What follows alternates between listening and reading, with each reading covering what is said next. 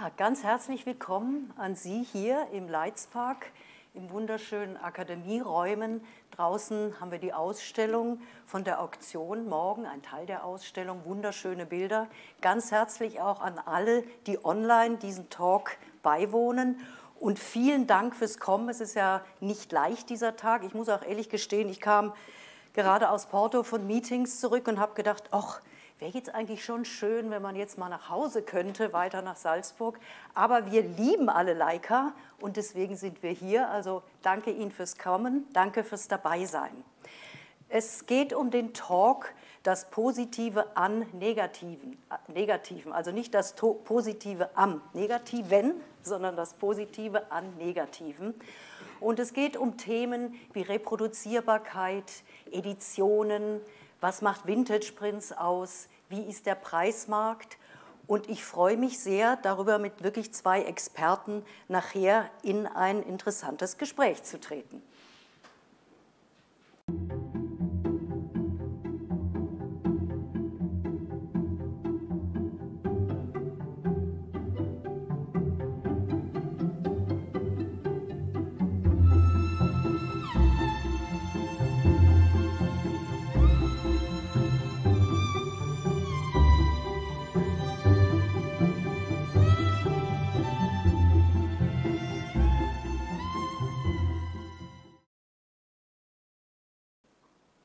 Ja, das war ein ganz kurzer erster Einblick in das, was alles Wunderbares hier geboten wird. Und vielleicht, damit Sie auch ein bisschen wissen, wer hier so steht, eine ganz, ganz kurze Einführung von uns dreien. Ich bin seit 2008, habe ich angefangen mit vier Leica-Galerien. Ähm, inzwischen am Ende des Jahres haben wir 32 Leica-Galerien um die Welt. Ich bin auch verantwortlich für das Printmuseum hier unten mit den Ausstellungen und für vieles andere mehr und muss sagen, ich liebe wirklich das, was ich tue, weil es auf der einen Seite mit einer unglaublich wunderbaren Ausdrucksform, nämlich der Fotografie, zu tun hat. Und auf der anderen Seite habe ich auch die Freude und das Glück, ganz viele spannende Menschen kennenzulernen durch meinen Beruf. Mhm. Caroline, vielleicht machst du weiter. Ja. ja. guten Abend auch von meiner Seite. Ähm, vielen Dank äh, für die Einladung. Mein Name ist Caroline Guschelbauer. Ich äh, bin für das Auktionshaus Lights Photographica Auction tätig. Ich arbeite im Bereich äh, Auktionsmanagement und äh, Fotografie-Recherche. Bin seit mehr als zehn Jahren am Hauptsitz in Wien tätig. Und auch für mich, äh, die Fotografie hat mich auch gefesselt. Sie spricht für sich und ähm, die Möglichkeit, einen Moment einzufangen und zu einem Objekt werden zu lassen, ist das, was mich äh, bis heute auch fesselt an der Fotografie. Danke. Johannes. Ja, mein Name ist Johannes Faber. Ich bin Kunsthändler mit Fotografie seit über 40 Jahren und externer Experte für die Lights Fotografieauktionen. Das war richtig kurz. Wahnsinn. Ah. Super. Ja, also 170 Jahre Fotografie was hat sich in dieser Zeit alles verändert? Heute kann man sagen, fotografiert fast jeder oder man hat die Möglichkeit, mit seinem Smartphone zu fotografieren. Du bist seit 40 Jahren, warst einer der ersten überhaupt in Österreich und vielleicht auch außerhalb von Österreich, die in den Fotokunstmarkt eingestiegen sind, bist auch Fotograf. Und was hat sich für dich in dieser langen Zeit geändert? Wie war das früher? Wie ist das heute mit der Fotografie? Ja, vielleicht ganz kurz zu meiner Karriere. Ich war Fotograf, so ungefähr ab Mitte der 70er Jahre. Zuerst Amateurfotograf, dann ab Ende der 70er Jahren künstlerischer Fotograf und habe relativ blauäugig 1983 die Fotogalerie gegründet aber nicht mich selbst ausgestellt, sondern zeitgenössische Fotografie, also zeitgenössische Fotografen, Fotografinnen aus Österreich, teilweise auch aus Deutschland. Und habe aber seit den 70er Jahren immer Fotografie gesammelt. Das, hat sich, das heißt, ich hatte auf Flohmärkten, bei, bei kleinen Antiquariaten, die es auch in Wien gibt oder in Österreich, immer Fotografie gesammelt. Äh, nach natürlich zu den Preisen, die ich mir damals leisten konnte. Und jetzt zu dem Kunstmarkt. Das beginnt so ungefähr um 1970, wo in Wien die Fotogalerie Die Brücke entstanden ist, auch in Deutschland, in Köln, die Wildes eine Galerie gegründet haben. Und die hatten begonnen, auch schon bei Kunstmessen auszustellen. Also damals gab es noch nicht so viele Kunstmessen. Es gab die Art Cologne, die ist glaube ich ungefähr 1973 gegründet worden, und die Art Basel in der Schweiz. Also die haben begonnen, wirklich mit, äh, in, innerhalb des Kunstmarktes mit Fotografie zu handeln. Wobei man vielleicht dazu sagen muss, da es einen Kunstmarkt erst seit 1970 für Fotografie gibt, war es in den 60er, 50er oder 1930er Jahren nicht notwendig, hunderte Prints zu machen. Das erklärt sich eigentlich aus dem, aus dem System. Die, die, das Problem der Editionen kommt überhaupt später, wo dann berühmte Fotografen teilweise schon im hohen Alter oder vielleicht auch schon verstorben, posthume Editionen, das ist eigentlich ein Phänomen der 1990er oder der Nullerjahre oder noch später. Es ist ja so, dass ich ja auch mit vielen äh, Reportage- und Dokumentarfotografen zu tun habe. Und die waren früher in ihrer Zeit, als sie fotografisch gearbeitet haben, überhaupt nie auf dem Kunstmarkt, sondern sie haben eben für Magazine, für Stern, Live, Time Magazine und vielen anderen gearbeitet. Und jetzt sind sie aber so weit, und da sind auch einige, die wir hier jetzt bei uns haben, dass sie quasi in den Kunstmarkt aufgenommen werden. Eine ganz konkrete Frage an dich, Johannes. Wie hat sich, sage ich mal, innerhalb der 20 Jahre jetzt das Preissegment innerhalb der Fotografie verändert? Und vielleicht kannst du da auch ein Beispiel geben von einem Bild. Was war das vor 20 Jahren wert? Was ist es heute wert? Weil in den Kunstmarkt in der Fotografie einzusteigen, ist ein absolutes Investment. Ja, auf jeden Fall, natürlich. Wobei jetzt der, der Begriff der Vintage-Fotografie, den ich gerne habe, wo auch der Großteil der Bilder in, in, in, in morgigen äh, Leits Fotograf, Fotografie-Auction dabei sind, jetzt die Abzüge gemeint sind, die zur Entstehung des Negativs entstanden sind. Vielleicht glauben manche, dass es kaum zu unterscheiden ist, aber es ist ein ganz dramatischer Unterschied zwischen einem Abzug aus den 20er Jahren vielleicht noch einen aus den 1950er Jahren oder einen Posthumen von gestern, vorgestern oder drei Monaten. Auch in der Preisentwicklung spielt es eine große Rolle. Ich nehme immer das Beispiel von Man Ray, einer der wichtigsten Fotografen und auch Künstler in Europa der Zwischenkriegszeit. Von dem können Originale aus den 20er Jahren drei, vier bis fünf Millionen Dollar wert sein. Wenn er erst 1938 emigriert von Paris nach Hollywood, wenn er in den 30er Jahren noch einen Abzug gemacht hat, dann kostet der vielleicht 200.000, 300.000 Euro. Er ist 1976 gestorben. Damals hat er einen Assistenten gehabt, der die Prints gemacht hat in den 70er Jahren. Dann kosten die Prints noch signiert aus den 70er Jahren vielleicht 30.000, 40.000 Euro. Und ein posthumer Abzug von der Griffelkunst ist vielleicht 500 Euro wert. Für einen Laien schauen diese fünf Bilder völlig gleich aus. Sie sind es aber nicht. Es ist auch eine Hermes-Tasche aus dem römischen Flohmarkt aus Plastik, keine originale Hermes Kelly Bag.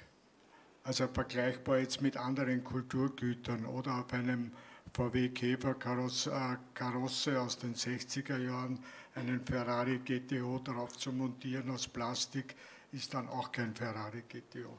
Der Unterschied ist relativ dramatisch und das kann man eigentlich, ich sage immer, in 10 oder maximal 15 Minuten lernen, indem man die Bilder sieht. Also in einer Galerie, bei einer Auktion oder eben anderen Leuten, vertrauenswürdigen Personen, sage ich jetzt einmal. Fotografie wird natürlich auch gefälscht und darum ist dieses Problem auch ich glaube, das ist ein, ein Riesenthema, weil wie du selber sagst, das muss ein, also kann ein Normaler nicht unterscheiden, das muss ein Spezialist machen. ja, so speziell ist es gar nichts. Man kann es relativ schnell lernen. Nicht? Gerade äh, Vintage-Fotografie aus der Zwischenkriegszeit, aus der Nachkriegszeit hat Spuren. So wie du schon gesagt hast, Fotografie wurde immer für Publikationen gemacht. Wir hatten in der Zwischenkriegszeit an die 20.000 Zeitschriften nur in Europa. Es hat kein Internet gegeben, kein Fernsehen, der Film war nur zur Unterhaltung da.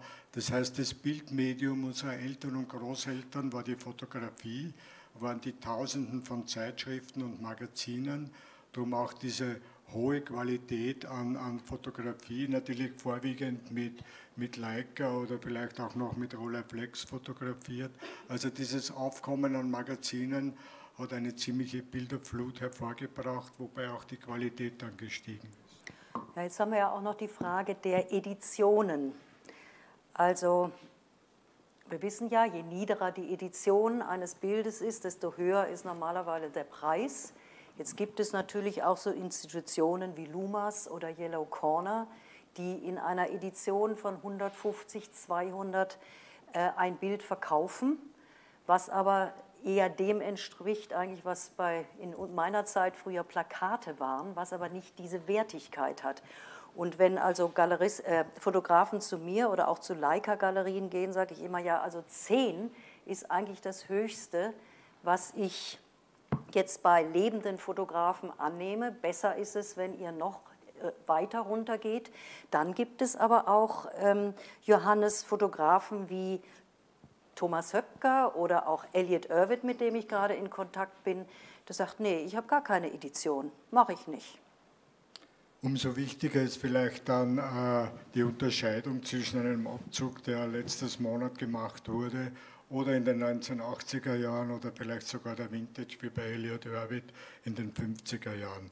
Man kann das sehr gut nachvollziehen, auch wenn man die Auktionen, speziell in, in, in New York, in, in Paris oder in, in London, alle großen Auktionshäuser, Sotheby's, Christie's, Swan, Phillips, wie immer jetzt, machen das seit ungefähr Anfang der 70er Jahre mit Spezialisten, mit Spezialistinnen, machen Auktionen für fotografische Arbeiten, also Fotografien. Und die, die Sache der Editionen ist insofern interessant. Zu mir kommen natürlich auch viele junge Fotografinnen und Fotografen und ich sage ihnen dann immer, warum wollt ihr Editionen machen? Wenn was nicht verkauft ist, ist eines zu viel. Freut euch doch, wenn ihr das Bild verkauft habt ihr Geld, könnt weiterarbeiten, könnt das nächste machen. Also diese, diese Vision, speziell von jungen Fotografinnen und Fotografen, eigentlich sind sie eh schon weltberühmt, weil sie in drei Kaffeehäusern ausgestellt haben und jetzt machen wir 100er Editionen, ist, wenn man darüber nachdenkt, eigentlich nicht wirklich sinnvoll.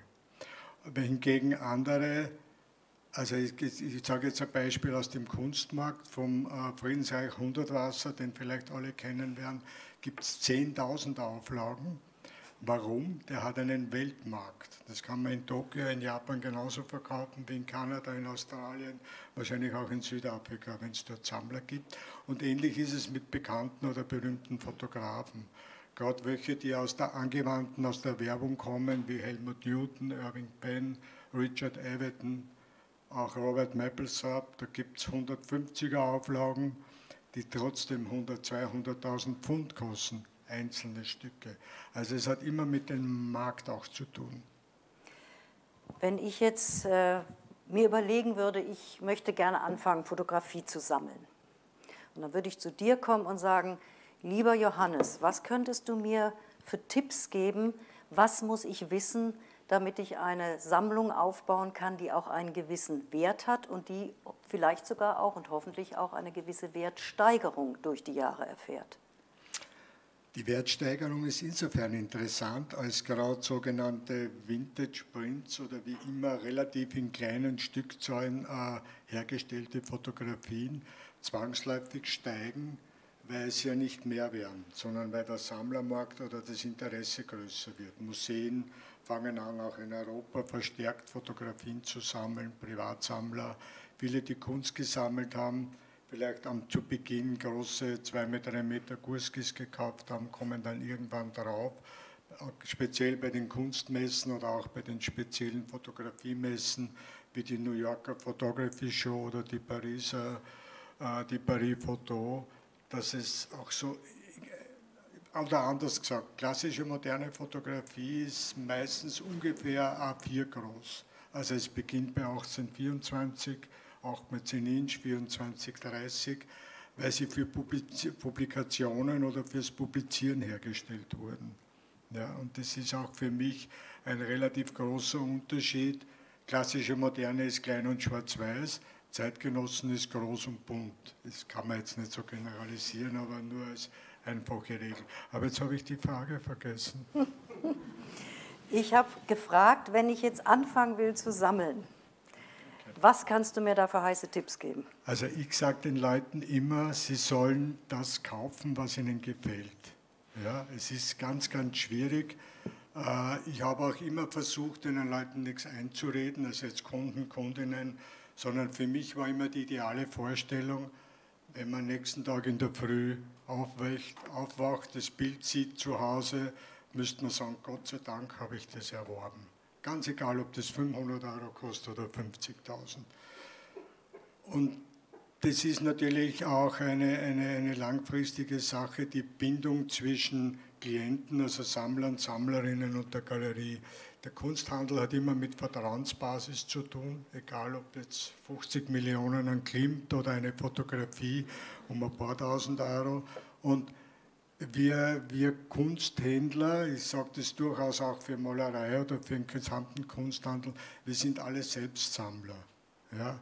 Das ist ein gewisser Vorteil oder ein Nachteil. Der Vorteil bei zeitgenössischer Fotografie ist, man ruft die Künstlerin, die Fotografin an und sagt, ich habe gerade ein Blatt verkauft, ich brauche wieder eines. Wenn man bei den Editionen sieht, muss jetzt nicht unbedingt ein Nachteil sein. Ne? Außerdem garantiert ja der Kunsthändler die Edition, auch ihr wahrscheinlich von Leica, wenn man sagt, man macht 50er Auflagen, dann gibt es auch nur 50 und nicht 5000. Aber das ist natürlich auch ganz entscheidend. Es gibt ja auch Fotografen, die äh, sagen, okay, ich habe drei verschiedene Größen von einem Motiv und ich sage, okay, für die Größe 5, für die nächste 10, für die nächste Größe 12 ganz schwierige Sache. Das kann man machen, wenn man Gurski heißt, Struth, äh, Murakami, Jeff Koons, aber nicht. Äh, Die haben wir alle übrigens nicht in der Auktion, nur zur Info. Liebe Caroline, ähm, es gibt ja heute viele Auktionshäuser und es gibt auch viele Auktionshäuser, die äh, Fotografie verauktionieren. Was ist das Besondere am Auktionshaus Leitz? Ja, vielleicht erstmal die Historie. Also Lights Photographic Auction wurde 2002 gegründet und ist seit 2018 das offizielle Auktionshaus der Leica Kamera AG. Äh, wir auktionieren zweimal im Jahr, einmal morgen eben hier in Wetzlar und an unserem Hauptsitz in Wien im November. Die Spezialisierung liegt äh, auch bei historischen Kameras. Äh, in dieser Sparte hält das Auktionshaus neun von zehn Weltrekorden. Also das ist äh, sehr beachtlich. Unter anderem letztes Jahr, also die teuerste Kamera der Welt, die hier für 14,4 Millionen letztes Jahr äh, versteigert wurde. Den Moment werde ich nie vergessen. Ja. Ich habe gedacht, das gibt es das gibt's einfach nicht. Ja. ja, und die andere Sparte ist die Fotografie, für die bin ich auch tätig. Johannes als äh, externer Experte und äh, Anna Zim, die hier heute auch als äh, Fotografie-Expertin äh, den Live-Chat äh, betreut. Also an dieser Stelle bitte gerne an das Publikum online Fragen stellen im Chat. Äh, die werden hier beantwortet. Ja, und vielleicht noch äh, dazu, was wir machen. Also inhaltlich, ähm, der Fokus liegt ähm, ab der Fotografie der 1920er Jahre. Wir arbeiten mit Fotografien des neuen Sehens, Reportage, Street Photography aber auch zeitgenössische, am Markt etablierte Positionen. Und ich würde sagen, das Besondere ist auch, dass wir versuchen, ein sehr breites äh, Spektrum abzu, abzubilden und auch Käuferwelten zusammenzubringen. Zum einen seltene Fotografien für Sammler, aber auch preislich attraktive Fotografien anbieten für neue Käufer und Käuferinnen. Und ich würde sagen, in unserer Auswahl ist es einfach möglich, ein, ein, eine Fotografie mit Qualität und mit einer gewissen visuellen Kraft zu ersteigern. Also falls wer diesen wunderbaren Katalog noch nicht in der Hand gehabt haben sollte, also da sieht man wirklich die unglaubliche Vielfalt und das unglaubliche Angebot von den tollen Bildern. Es ist ja nur ein Teil hier ausgestellt. Liegen auch, glaube ich, draußen. Liegen auch noch draußen. Also Sie haben noch Zeit bis morgen mhm. um 18 Uhr, den in Ruhe zu studieren. Mhm. Caroline, ja, so eine Auktion, wie läuft das ab? Wir wissen, es gibt äh, Leute, die in Präsenz äh, mit auktionieren, es gibt immer sehr, sehr viel online. Was muss ich da tun? Auf was muss ich achten, wenn ich äh, da sitze und denke, ah, das wäre es jetzt, das möchte ich gerne haben. Ah ja. ja, vielleicht sollte man vorab überlegen, äh, möchte man live mit dabei sein? Also wenn man die Möglichkeit hat, live bei einer Auktion mit dabei zu sein, ist nämlich immer auch etwas Spannendes und Besonderes. Ähm, gibt es drei Möglichkeiten. Zum einen online über unsere Seite lights-auction.com, über die Plattform Live Auctioneers aber man kann auch ganz klassisch als Telefonbieter mit dabei sein. Das heißt, über dem Hörer, also so wie man das auch kennt aus den Bildern, ähm, live sozusagen über den Hörer mitbieten. Ja, und last but not least natürlich im Saal hier, um das Auktionsgeschehen äh, hier zu erleben. Man muss sich einfach vor dem Auktionssaal registrieren, bekommt eine Bieterkarte und äh, kann dabei sein. Dann geht's ja, los. Genau. Und falls es eben nicht möglich ist, live dabei zu sein, gibt es die Möglichkeit, vorab Gebote schriftlich abzugeben, online, wie gesagt, über unsere Website oder äh, per E-Mail direkt an uns. Johannes, die technische Reproduzierbarkeit von vielen Bildern ist ja für manche Sammler auch, dass sie eigentlich ein bisschen ängstlich davor stehen und denken, boah, also ich weiß nicht, ob ich wirklich da jetzt einsteigen soll. Wie kann man Sammlern oder auch beginnenden Sammlern die Angst davor nehmen? Naja, ich habe es teilweise ja schon angesprochen, indem sich die Dinge selbst limitieren. Gerade wenn es Originalabzüge sind aus der Zwischenkriegszeit, ich gehe jetzt einmal von den 1920er bis in die 1970er Jahre, da gehen wir jetzt von, da gehen wir Bauchleute von nicht mehr als einer Handvoll aus, also fünf Abzüge. Einen hat er für sich gemacht, einen für ein Magazin, einen der Freundin geschenkt, einen mit einem Kollegen oder mit einer Kollegin getauscht. Es sind auch nicht immer alle, äh, alle haben überlebt. Es hat auch vielleicht damit zu tun mit einer Fotogeschichtsschreibung. In Amerika gibt es äh, Fotohistoriker, Fotohistorikerinnen seit den, ungefähr seit der Jahrhundertwende. Das heißt, die recherchieren ganz genau, wie viele Stück gibt es von dem. Von ganz berühmten Bildern gibt es meinetwegen vier. Eines ist im MoMA in New York, eines im San Francisco Art Museum, eines in einer Privatsammlung. Und das einzige noch am Markt befindliche kommt jetzt zur Auktion auf den Markt. Und äh, gibt natürlich dann viele Menschen, die das eventuell haben wollen, die sich leisten können. Welche Faktoren bestimmen den Preis einer Fotografie für eine Auktion? Es ist im Prinzip das Gleiche wie am Kunstmarkt, wie am Oldtimermarkt, wie mit alten Uhren, wie mit allen Dingen. Die Seltenheit, die Wichtigkeit des Herstellers, in dem Fall des Fotografen oder der Fotografin, auch die, die Bekanntheit des Bildes. Es hat, werden vielleicht viele schon wissen oder kennen, es gibt von jedem Fotografen, von jeder Fotografin der letzten 150 Jahre wahrscheinlich fünf bis maximal zehn Bilder, die jeder kennt und eventuell auch gerne haben will. Auf der anderen Seite haben diese, diese Künstler, Künstlerinnen auch Qualitäten, die vielleicht in anderen Bildern auch sind, die jetzt nicht so berühmt ist. Wenn man vom Salgado dieses berühmte Bild, wo die alle so einen Hang raufrutschen, runterrutschen, wie immer haben will, ich glaube, das gibt es unter 20.000 Euro nicht mehr. Und vor 15, wann ist das hergestellt worden? Ich glaube, in den 90er Jahren hat das fotografiert. Ja hat das ein paar hundert Euro gekostet oder Mark oder Dollar. Ne? Und das hat, naja, es ist immer die Frage auch des Einsteigens, wann man Dinge kauft. Darum sage ich in erster Linie, das zu kaufen, das einem wirklich gefällt. Spekulieren mit Fotografie ist relativ schwierig.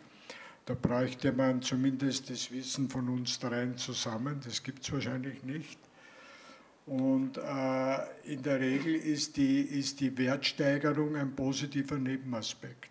Ich habe Sammler, leider keine Frauensammler, ich hatte meine erste Ansel Adams Ausstellung, glaube 85 oder 86. Damals haben die Bilder 50.000 Schillinge gekostet, das heißt, das sind 3.500 Euro oder so. Die wären heute zwischen 70 und 120.000 Euro wert, sie verkaufen es aber trotzdem nicht weil sie es gar nicht notwendig haben. Ja? Also Dinge kommen ja auf den Markt bei den klassischen Sachen, bei Scheidung, bei Tod, bei sonstigen finanziellen Krisen. Und ich sage immer, es ist ein positiver Nebenaspekt, die Wertsteigerung. Ja? Das Spekulieren mit, mit Fotografie funktioniert, wenn, dann nur im zeitgenössischen Bereich und dann auch nur bei einer Handvoll Namen, die ich heute eh schon erwähnt habe. Ja. Also ich finde auch den, den Ansatz, dass man sagt, ich, ich ersteigere oder kaufe mir ein Bild, wo ich wirklich auch eine Beziehung zu habe, insbesondere wenn ich es mir auch aufhänge und es nicht in einer Schublade landet, ähm, ist es das Entscheidende, absolut. Und trotzdem, Johannes, gibt es Faktoren, auf die ich achten sollte? Wie du gerade sagtest, bestimmte Faktoren tun einen Preis bestimmen bei einer Aktion. Gibt es da Faktoren, wo man eventuell mehr ein Auge drauf richten sollte als auf andere? Naja, in der Regel kann man jetzt Kunsthändlern oder Auktionen vertrauen. Ich sage es jetzt so, weil irgendwem muss man vertrauen, wenn man beginnt zum Sammeln außer man hat so unbegrenzt Geld zur Verfügung, dass man halt die Sachen kauft und dann irgendwann wegschmeißt. Aber um das geht es ja jetzt nicht. Wir reden ja jetzt von ernsthaften Sammlern. Und da würde ich mich auch selbst bilden, viele Sachen anschauen, Ausstellungen anschauen, in Museen gehen mit Fotografie. Auch hier sieht man immer ganz tolle Ausstellungen. Wobei natürlich die die Dinge, die bei den Auktionen auftauchen, eher nicht in der Größe sind, wie es ihr jetzt macht. Das sind ja meistens neue Abzüge. Da geht es wirklich nur um die Bildung des visuellen, äh, der, der visuellen Qualität von Fotografie. Ja, ich meine, wir haben, wir haben zwei Sachen hier. Das eine ist Frank Corbett, das ist wirklich klassisch, klein. Und das andere, also falls Sie es auch noch nicht gesehen haben sollten, unten im Ernst-Leitz-Museum haben wir momentan eine knallbunte und wie du sagst, wirklich großformatige Rankin-Ausstellung. Das sind zwei Kontraste, aber beide beschäftigen sich mit dem Thema letztendlich Mode. Ist aber auch eine unterschiedliche Zeit. Das ist fast das, was ich vorher gemeint habe. Klassische Moderne ist klein und schwarz-weiß, zeitgenössische ja. groß und bunt. Ja, die, die, von, der, von der Preisgestaltung her, naja, wie gesagt, man kann es war sicher leichter noch, pardon, in den 70er Jahren, wie ich begonnen habe, auf Flohmärkten Fotografie zu kaufen, mit einem Wissen, das man hat. Aber es geht wirklich darum, die Dinge zu lernen. Und jeder gute, jede gute Galeristin oder Kunsthändler wird Ihnen das gerne zeigen. Was ist der Unterschied zwischen einem Abzug aus den 20er Jahren oder einer, der gestern aus dem Computer rausgezogen ist? Man kann das wirklich relativ schnell und einfach lernen. Die Fotografien, wir haben es schon ein paar Mal erwähnt heute, durch, die, durch das Publizieren haben auch immer Spuren an der Rückseite. Sie sind meistens nicht signiert. Warum sollte der das Bild signieren? Sie haben den Künstlerstempel, sie haben gewisse andere äh, Notations an der Rückseite durchs Publizieren, durch was immer, Seitenanzahl. Also oft sind die Rückseiten spannender als die Vorderseiten von Originalen. Caroline, also ich kann mich ja noch, wie gesagt, du hast es erwähnt, an diese Auktion letztes Jahr erinnern mit der Kamera, wo ich also Schwierigkeiten hatte, auf dem Stuhl sitzen zu bleiben. Es fing ja auch eher etwas zäh an und ähm, man dachte, naja, mal schauen, was macht eine Auktion so spannend? Ja, eben genau das, dass es immer etwas Unerwartetes hat. Ja? Also ich finde, jede Auktion ist für sich etwas äh, Besonderes. Äh, sie sind auch immer anders. Es gibt die Möglichkeit, ein Schnäppchen zu erwerben, aber manchmal ähm, gibt es auch, auch Höchstpreise, ja? also unerwartete Höchstpreise. Ich kann mich auch erinnern, also wir hatten auch äh, spannende Ergebnisse wie dieses berühmte Bild von dem äh, VJ Day, was jeder kennt, äh, so äh, Alfred Eisenstedt hier am Times Square, der Matrose, der die Krankenschwester küsst. Ähm, das hatte einen Startpreis von 8000 und äh, ging dann mit zwei Bietern auf 48.000. Also das sehen wir immer sehr, ähm, genau, sehr aufregende äh, Erlebnisse bei einer Auktion. Ja, und das ist wirklich, wenn man da drin sitzt, denkt man, mein Gott, das ist wirklich, man, man vibriert und bibbert mit, was mhm. da dann am Ende wirklich bei mhm. rauskommt. Und man weiß es eben nicht, das ist das Spannende. Man fängt ja. mit einem Preis an und weiß überhaupt nicht, wo der endet. Genau, ja, richtig. Johannes, du hast schon ein bisschen darauf geantwortet. Ich frage jetzt nochmal ganz konkret. Ähm, es gibt sozusagen den klassischen, traditionellen Fotomarkt und die zeitgenössische äh, äh, Fotomarkt, die, wie du ja auch sagtest, eher ein bisschen spekulativ ist, wo man nicht so genau weiß, bis auf manche Namen, auf was lässt man sich ein. Aber nochmal, wie kann da jetzt auch ein Sammler, der eben jetzt noch nicht dieses Wissen hat, mit diesen zwei Welten umgehen, wenn er beides will? Naja, es ist heute relativ leicht. Wir leben in einer Informationsgesellschaft. Über das Internet kann man alles Mögliche. Es gibt Schnäppchen, wie es die Caroline angesprochen hat, heute fast nicht mehr, weil jeder, ich sage jetzt Altwarntandler ist wienerisch, also Antiquität, wie sagt man bei euch? Also jeder, der Wohnungen ausräumt, was immer, äh, wenn, der, wenn der was findet, wo der Picasso draufsteht, der hat den Namen noch nie gehört. Wenn der Menoet draufsteht oder Ansel Adams, gibt er den Namen ins Internet ein und findet sofort Millionenpreise. Also es ist nicht mehr, mehr ganz so einfach mit den Schnäppchen. Aber natürlich leben wir Experten, Expertinnen von unserem Wissen über die Dinge. Ja? Und man kann mit sehr viel, viel Glück auch einen Chile oder einen Klimt am Flohmarkt finden, die Chance ist relativ gering. Aber es gibt sie natürlich. Es gibt auch immer wieder Meldungen über Funde auf Flohmärkten oder auf Garage Sale, wie man in Amerika sagt, oder wie immer. Jetzt habe ich wieder die Frage vergessen.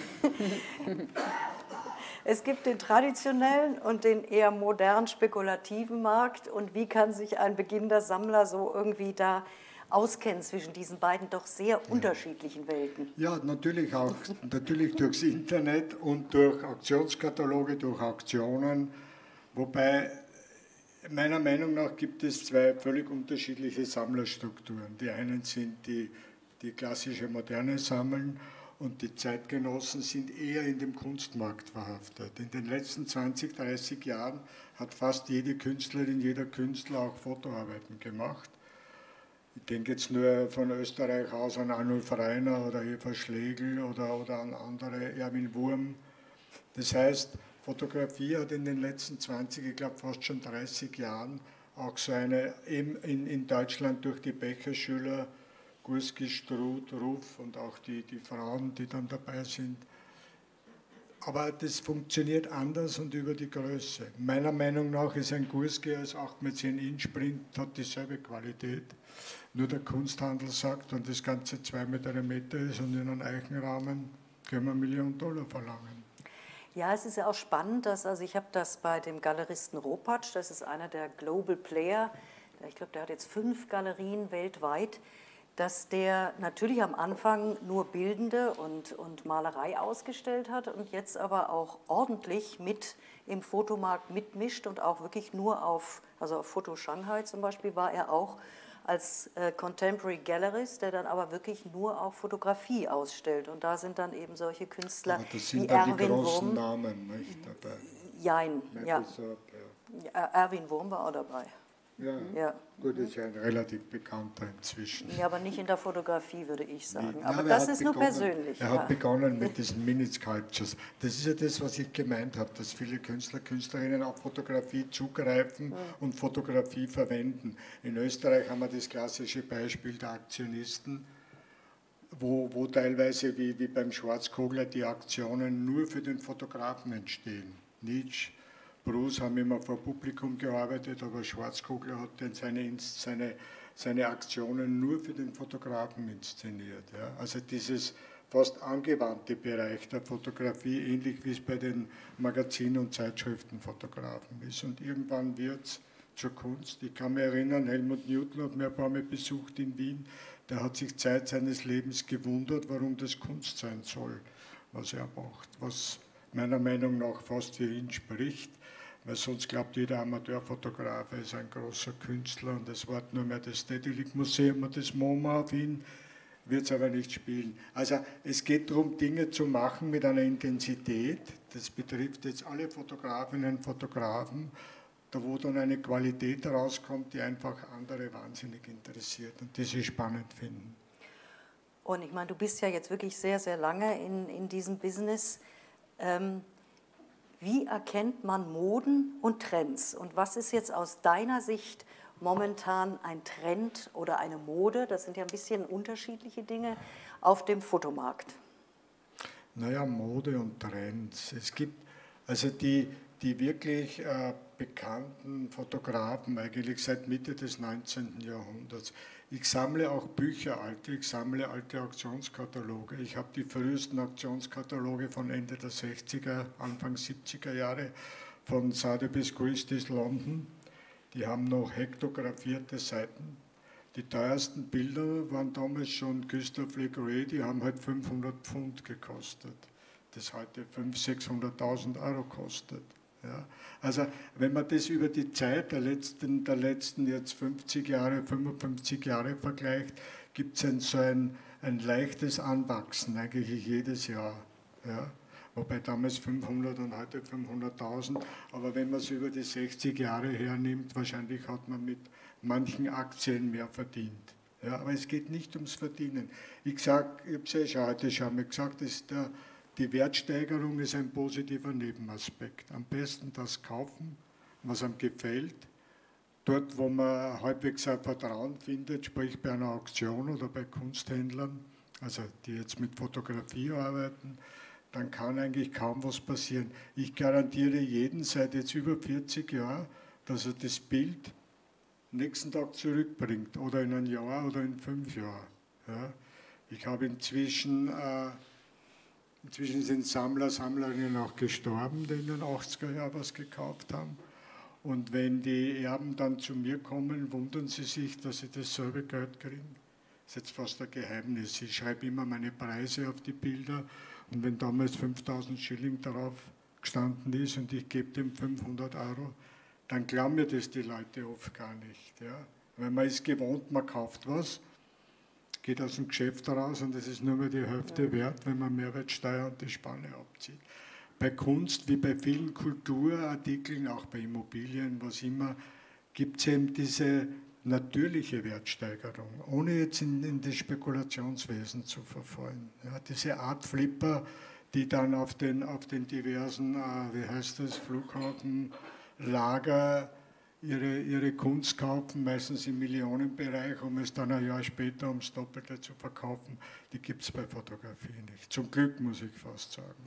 Ja, also ich denke auch, wenn, das ist ja wie überall im Leben, wenn man was mit Passion und Leidenschaft betreibt, dann ähm, tritt das andere auch in den Hintergrund und man kann trotzdem ein Wissen darüber erlangen, wie man eben vielleicht doch auch an wirkliche Werte kommt. Aber das erste Schritt ist einfach, spricht mich das an? Und da mhm. sind wir jetzt ganz gespannt, mhm. liebe mhm. Caroline, mhm. was erwartet uns jetzt bei Modern Times? Also unser Publikum ist sicher ganz gespannt. Was, ja. was ist da alles in diesem Katalog drin? Ja, also wir haben eine Auswahl getroffen von 100 Fotografien und es kommen auch sehr große Namen darin vor, also Pioniere der Fotografie wie Imogen Cunningham, wie Walker Evans, ähm, Ansel Adams, aber auch ähm, Pioniere der zweiten Hälfte des 20. Jahrhunderts, wie zum Beispiel Ernst Haas, William Eggleston, ähm, Helmut Newton. William Eggleston lebt immer noch, gell? Bitte? William Eggleston lebt noch, oder? Ja, Gell? ja, ist schon, der lebt, genau. ja, aber der ist sehr alt. Ja. Ja. ja. wir haben auch Ikonen der Reportagefotografie, wie den berühmten Marc Ribous äh, Anti-Vietnam-Demo, äh, den Kappa, den Falling Soldier zum Beispiel. Ähm, ganz bekannt auch äh, der California Kiss äh, von Elliot Irvid. Ähm, mhm. Genau. Ja, und dann nicht zu vergessen auch ähm, Porträts und Prominentenfotografie, ja, also von Terry O'Neill, Bert Stern, ähm, Milton Green zum Beispiel. Also es ist eine sehr breit gefächerte Auswahl und ich würde sagen, es ist für jeden ähm, Sammler, für jede Sammlerin ähm, eine Möglichkeit, wirklich äh, ähm, eine Fotografie ähm, von Qualität äh, zu erwerben. Das Tolle ist, dass ich habe mich gerade beobachtet, als du so ein paar Bilder gesagt hast. Das finde ich ja immer, mich, ich, also ich, mich fasziniert es jedes Mal, dass ich, zack, ich hatte natürlich das Bild, weil ich viele Bilder kenne, die du erwähnt hast, habe ich vor meinem inneren Auge. Und das ist natürlich, jeder hat ja sein eigenes fotografisches Archiv sozusagen bei sich selber und kann dann in jedem Moment, egal wo, kann er auch dieses Bild eben wieder wachrufen in sich. Und das hat was äh, ja. sehr Faszinierendes, finde ja. ich. Und da auch ein bisschen, ich sag mal, da sorgt ja auch ein bisschen Leica dafür, dass man eben Verantwortung dafür nimmt, dass man eben hilft, den Menschen auch durch Ausstellungen, durch die verschiedenen Galerien eben so ein schönes Archiv aufzubauen. Und das Spannende ist auch, ein Bild bleibt meistens nur im Gedächtnis, und da bin ich wieder bei dir, wenn man eben eine Emotion damit hat, wenn man etwas damit verbindet. Und dann bleibt es im Gedächtnis. Und deswegen fange man bitte an zu sammeln, genau ja, aus diesem ja. Grund. Und gerade Leica, das sage ich jetzt nicht nur, weil wir da bei Leica stehen und die Auktionen bei Leitzis, hat immer eine ganz starke Bindung auch zur Fotografie und zur Fotokunst gehabt, die eben in erster Linie die angewandte Bereich war für Zeitschriften. Warum hat es jetzt geklingelt? Wir also wir haben noch nicht die Zeit zu Ende. Okay. Also ich dachte gerade, ups. Also natürlich haben das andere, andere Kamerahersteller auch versucht, aber gerade Leica durch die, durch die Erfindung der, der, der, der Kleinbildkamera mit Oskar Banak schon vor dem Ersten Weltkrieg und dann die Produktion, glaube ich, 1925 begonnen. Das heißt, dieses Rausgehen, dieses mit Menschen zu arbeiten, das draußen zu arbeiten, das zeichnet eigentlich wirklich Leica aus. Und wenn man, wenn man sich auch die Geschichte anschaut, der Zwischenkriegszeit, es gibt dieses berühmte Foto von Cartier-Bresson, wir haben es, glaube ich, diesmal nicht in der Auktion, von Pfützenspringer, wenn man sich vorstellt, dass die Filme damals 6 ASA empfindlich waren und die kürzeste Belichtungszeit, glaube ich, 125. war, dann ist es fast nicht vorstellbar, wie die gearbeitet haben. Ja. Also diese systemimmanente, auch visuelle Qualität von Fotografie entsteht für mich natürlich auch durch diesen Druck, durch die, durch die Tausenden von Zeitschriften. Jeder wollte auch dort publizieren und wie gesagt, da spielt Leica nebenbei auch die Rolle Flex, aber mehr noch Leica, weil die Rolle Flex war, obwohl ich sie auch gehabt habe und gearbeitet habe damit, die ist viel eine, eine, die ist eher eine Studiokamera, ja, wo man Mode, wo man Porträts, es gibt relativ wenig Modeaufnahmen mit Leica aus der Zwischenkriegszeit, das kommt erst später dann in den, in den 50er, 60er Jahren. Ja, jetzt sind wir natürlich gespannt auf die Lose, die ihr auch vorbereitet habt. Mhm. Vielleicht, wer von mhm. euch, Johannes, fängst du an? Ja, mit, ja, ja, das ist, äh, ja. Sehen das jetzt alle, ich ja. momentan ja. nichts. Achso, dann bist genau. du dran, oder? Nein, die, die ersten drei. Das, das, das ist unser, genau, wir können schon sagen. Okay, wir sind bei Harold Edgerton. Nein, wir sind schon bei Imogen Nein, Wir sehen aber, also aber jetzt, jetzt, okay. genau, jetzt, jetzt stimmt die Reihenfolge. Jetzt, jetzt stimmt die Reihenfolge. Also, Imogen Cunningham, eine amerikanische Fotografin, eine der wenigen Frauen, die auch schon in, den, in der Zwischenkriegszeit gearbeitet hat mit Fotografie, porträtiert den Alfred Stieglitz. Für, den, für die, die den nicht kennen, eine ganz wichtige Figur in der amerikanischen Kunst er hatte eine Galerie schon ab 1898, war der erste, der Picasso, Brancusi, die ganzen äh, französischen Künstler ausgestellt hat, war selber Fotograf und hat auch Fotografie gleichwertig mit Kunst in seiner Galerie gezeigt. Im Hintergrund sehen wir ein Bild seiner damaligen Frau, der, Georgia O'Keeffe. Danke, ja. der Georgia O'Keeffe. Das heute, ich glaube, die ist momentan die teuerste Künstlerin der Welt. Das haben wir um 130 Millionen verkauft worden. Nicht dieses Bild, sondern ein anderes, einer Blume. Also für mich kommen in diesem Bild drei äh, wichtige Figuren zusammen. Die Imogen Cunningham, der Alfred Stieglitz und eben im Hintergrund die Georgia O'Keeffe. Dazu muss man sagen, dass es ein Originalabzug ist aus 1934, von ihr selbst montiert auf der Rückseite ist ihr, ihr Etikett drauf mit der Adresse und vorne ist es signiert und datiert mit Bleistift. Also Cunningham, ich glaube 1934. Also viel authentischer kann es eigentlich nicht sein. Und das ist eine der Bilder, die, wenn jetzt zwei oder drei Leute zusammenkommen, auch auf 150 oder 200.000 Euro gehen kann. Ich sage es jetzt so. Ich würde selber gern haben, ich fürchte, ich kann mir es nicht leisten. Genau. Zu lang? Nein, nein. Nein, nein alles genau, gut, alles wunderbar. Wenn irgendeine Frage hat, vielleicht das gleich stellen. Gleich. Oder machen wir es nachher? Mhm. Okay, wenn es bis auch da. Genau, okay. Wenn ich wir sehe, könnten schon weitergehen. Also, genau, wir haben Walker das nächste Evans, los. Das nächste genau. los, richtig. Mhm. Walker Evans, ja. Penny Picture Display. Walker Evans war einer der Fotografen, die für die FSA gearbeitet haben, die Farm Security Administration in den 30er Jahren. Das war die erste politische, äh, politische Sache, die man mit Fotografie versucht hat durchzusetzen. Und zwar geht es im, im Mittelwesten um, die, um das Los oder das Elend der, der Farmen, die alle zusperren mussten und dass man Gelder aus dem, aus dem Kongress, weil die Kongressleute sind natürlich an der Ostküste gesessen und denen hat wenig interessiert, was da im Mittelwesten diese millionenarmen äh, Farmer, die ihr Land verlieren, wie es denen geht, hat man zwölf oder 14 Fotografen, Fotografinnen beauftragt, dieses Elend der Farmer weiter zu fotografieren. Walker Evans war einer davon. Das ist jetzt eine eher nebenbei entstandene Aufnahme eines Fotostudios, ein ganz berühmtes Bild, also eigentlich Bilder im Bild. Da könnte man jetzt wahrscheinlich philosophieren drüber und ein Buch drüber schreiben oder wie immer, aber es ist eine relativ bekannte Aufnahme. In dem Fall kein Vintage-Abzug aus 1932, 36, Entschuldigung, sondern ein späterer Abzug, weil die kompletten Negative der Farm Security Administration oder FSA sind in die Library of Congress übergegangen, weil das ja eine Auftragsarbeit, eine offizielle Auftragsarbeit des afrikanischen, amerikanischen Staates war. Und der Harry Lann, einer der ersten Kunsthändler, Fotografiehändler, hatte den Nachlass nicht nur von Ansel Adams, sondern auch von Edward Weston. Und man konnte damals in den 70er Jahren von den originalen Negativen Prints bestellen. Ich wollte vielleicht noch dazu sagen, die Cunningham vorher war ein 8 x 10 Inch Kontakt. Also die Negative waren damals relativ groß, fast A4. Walker Evans hat mit 4 x 5 Inch, also 9 x 12 Kameras gearbeitet.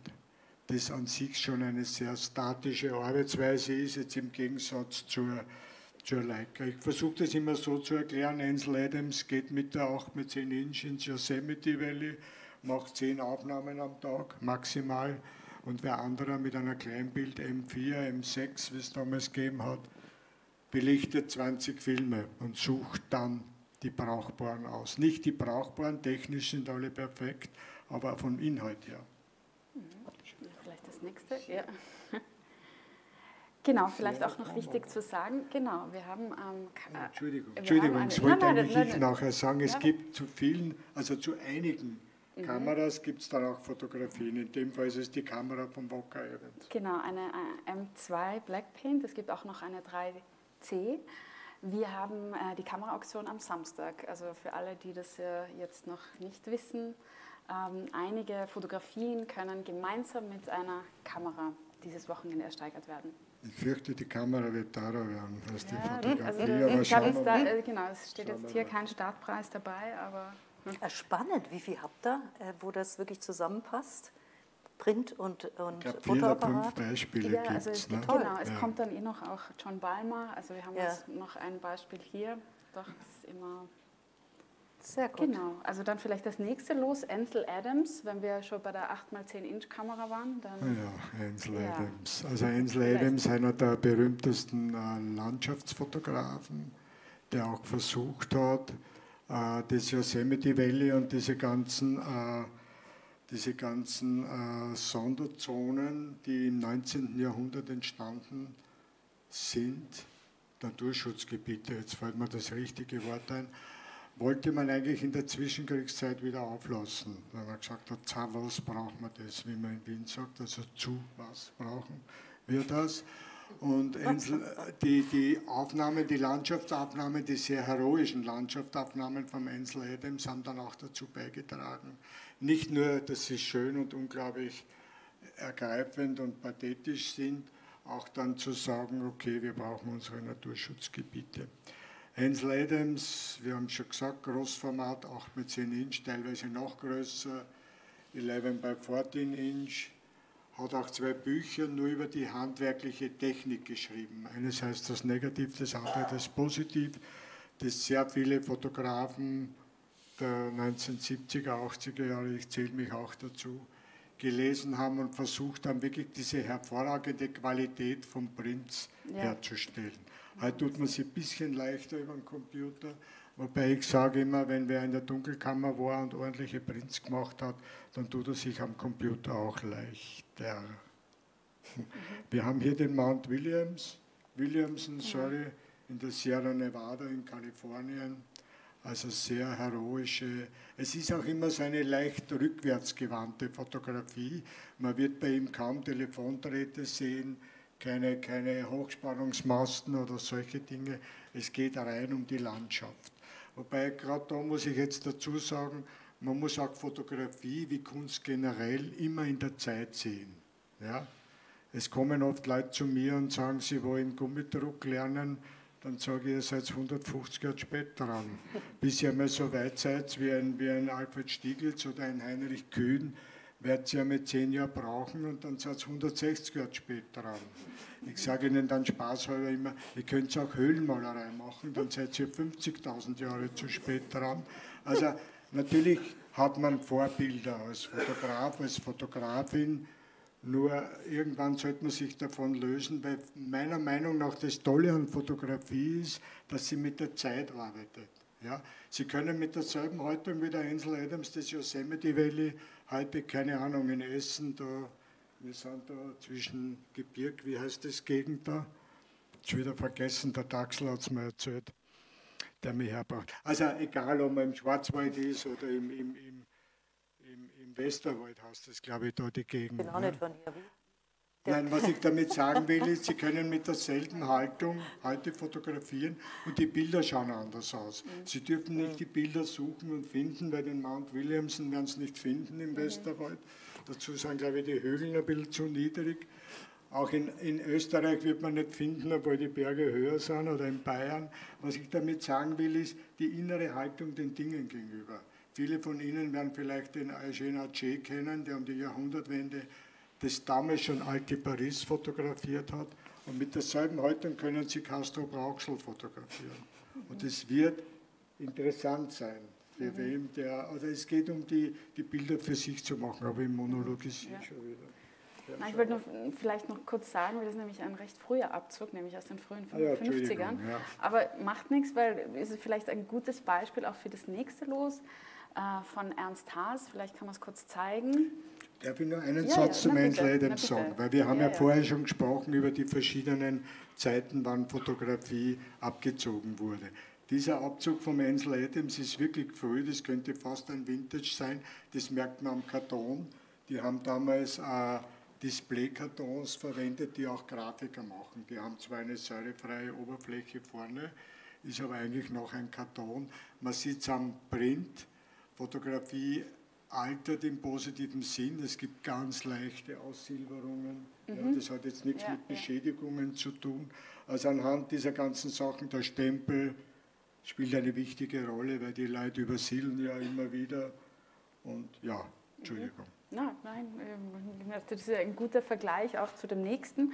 Wobei man kann sich auch vom Ansel Adams hier im Foyer dann überzeugen. Also der hängt an der Wand und auch von dieser Qualität des Abzugs, also von dieser genau, Handwerkskunst, kann man fast so sagen. Es ist ja Handwerkskunst. Ja, ja, ja genau. Ja, hier haben wir Ernst Haas, äh, ein sehr ähm, denkwürdiges Bild von Albuquerque äh, entlang der Route 66. Ähm, die Leuchtreklamen äh, zwischen den Forts ähm, nach einem ähm, ja, Regenguss. Äh, Ernst Haas ähm, war ja auch ein Pionier der Farbfotografie.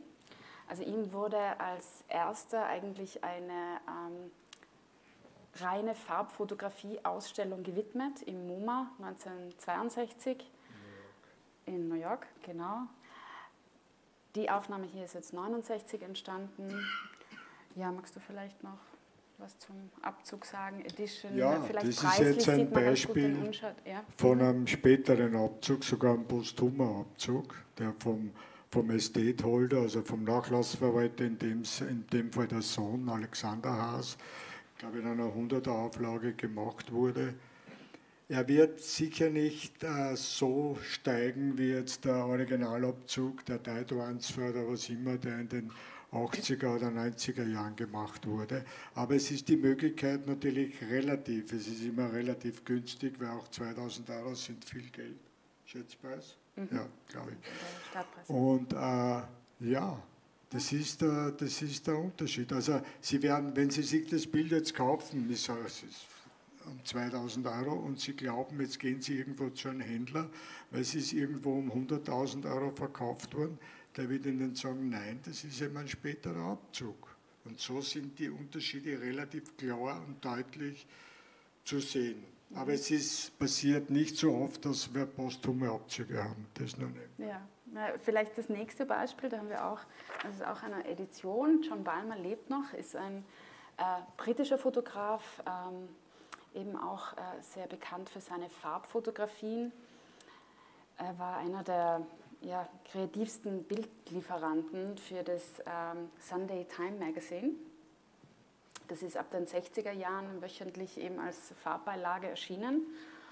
Und ja, auch von John Balmer haben wir eine Kamera am Samstag in der Kameraauktion, nämlich eine M3 Black Paint, äh, gemeinsam mit äh, der Publikation von John Balmer The North, also seine Reportagen über den Norden Englands.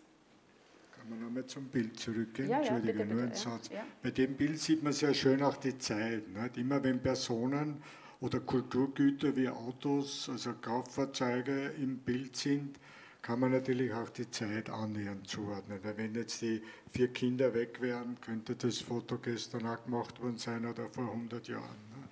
Das habe ich auch vorhin damit gemeint, von dieser Realität, von dieser scheinbaren Realität, dass die Fotografie bringt. Das ist natürlich scheinbar, weil es zweidimensional ist, aber es ist ein ganz gutes Beispiel. Mhm. Ja, schon wieder.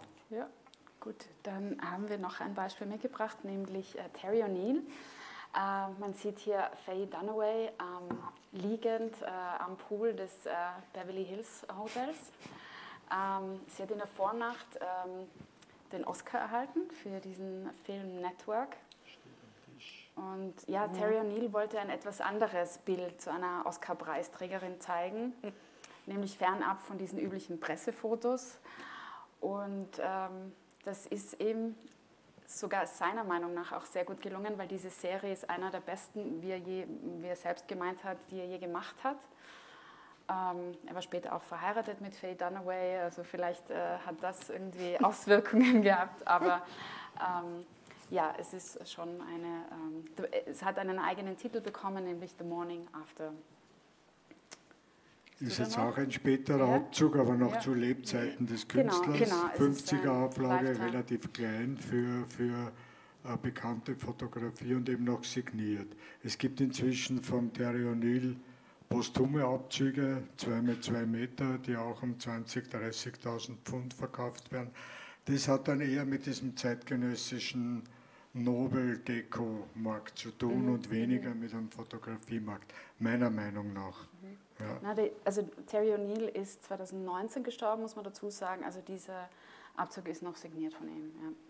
Und er hat natürlich von Rolling Stones, also die ganzen 60er, 70er ja, Jahre fotografiert in London, die ja teilweise alle, die nicht mehr 20 sind, so wie wir, wir auch noch kennen. Mhm. Ja. ja, das waren jetzt ein paar Beispiele aus der Auktion, die wir äh, mitgebracht haben. Und äh, Sie können sich natürlich auch sehr gerne die äh, Lose, die hier draußen im Foyer hängen, ansehen. Wir haben auch noch äh, einige andere mitgebracht. Es ist ein Rundgang durch die äh, Geschichte der Fotografie, würde ich sagen. Also das ist ja auch das Spannende. Es geht ja nicht nur darum, Fotografie zu kaufen, sondern auch irgendwie ein Auge dafür zu bekommen und ähm, diesen, so einen Rundgang auch ein bisschen äh, vorbeiziehen zu lassen. Ja. Und wenn man die, sich die Bilder genau anschaut, sieht man auch unterschiedliche Oberflächen, unterschiedliche Strukturen. Ja. Also alles das, was eigentlich das ausmacht, über das wir jetzt reden. Vintage später, wie immer. Baritabzüge, Entschuldigung. Mhm. Es gibt kaum Plastik, gerade im, im, im, am Fotografiemarkt, in der klassischen Moderne Kunststoffpapiere gibt es erst seit 1976 meines Wissens. Das heißt, alles, was vorher ist, ist wirklich Baritpapier, es ist haltbar, es wird nicht kaputt, es geht nicht zugrunde, es löst sich nicht auf. Ja. ja. Schön doch so. so haptisch und äh, analog. Ja, ganz, ganz herzlichen Dank. Äh, haben wir Fragen? Nein? Wunderbar, dann darf ich Sie auffordern, wenn Sie noch Fragen haben. Also so einen Experten hat man nicht jeden Tag hier.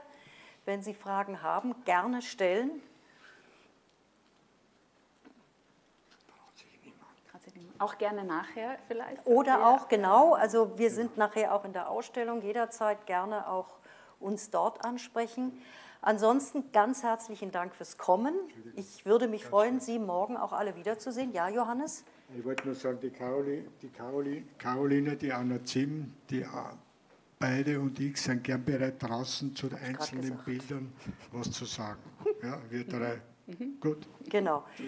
Jetzt darf ich mich auch ganz herzlich von den Online-Teilnehmern verabschieden. Dankeschön, dass Sie dabei waren. Und ich hoffe, Sie kann ich nicht sehen, aber Sie kann ich sehen, dass ich Sie morgen alle wiedersehe. Einen wunderschönen Abend und Dankeschön fürs Kommen. Applaus